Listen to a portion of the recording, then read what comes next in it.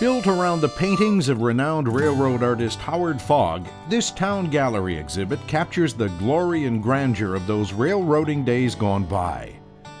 The Monon, also known as the Hoosier Line, had a profound effect on Indiana and touched every town in Orange County.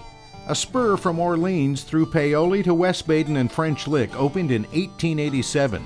It set the tourism business booming in these parts. The trains pretty much pulled up to the main entrances of the two hotels. Passenger service continued here into the 1960s, bringing in guests, performers, and celebrities alike. The Howard Fogg prints are on loan from collector Vince Savage, whose love of the Monon runs deep. Well, I think the tide of my early life when we rode on it between Bloomington and Salem, and my sisters and I would go down to my grandparents on the Monon, but there was something about those red and gray engines, and even the even the freight engines that were they were pretty imposing.